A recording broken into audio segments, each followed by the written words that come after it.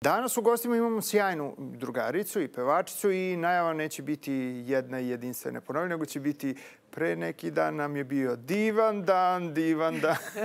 Kaja Ostojić je moj današnji gost. Kaja, dobar dan i dobrodošla. Dobar dan i bolje te našla. Iako, iako nije zapravo povod rođendan, ali nema veze. Zašto moramo da pratimo koncepciju kako treba da izgledati? Pitam prvo kako si, jer se oporavila, odmorila, naspavala, pregledala poklone. Znaš kako kaže moja koleginica Aleksandra Prijović, isto jedna devica, talentovana. Ja sam odlično. Jer ti više misli. Odlično sam. Odlično sve. Ne, super je, super. Ovaj, sad bešale, oporavila sam se od rođendana. Bilo je ovaj, vrlo intenzivno i ludo i nezaboravno. Prvi put sam, ovaj, kao što sam ti malo pripričala, prvi put sam nešto organizovala. Nisam ni punoletstvo čak slavila. Mhm. Ovo mi je bila prva, da kažem, ono, ozbiljna rođendanska žurka.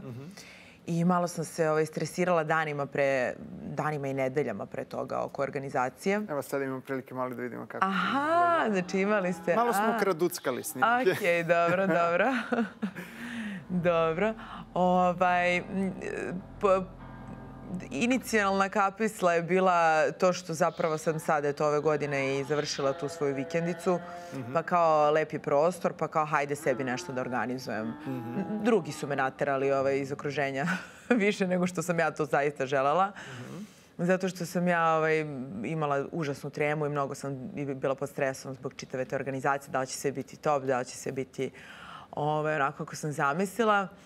Ali eto, zahvaljujući e, moje prijateljici iz dekoracije Kalina, e, ono, to je ispalo više nego prelepo.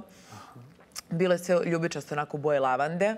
Ja sam to tako zamislila da mi sve bude ljubičasto, jer kao eto, ljubičasta boja je onako simbolično, ovaj, simbolično, e, da kažem, nešto što, što odiše, da kažem, i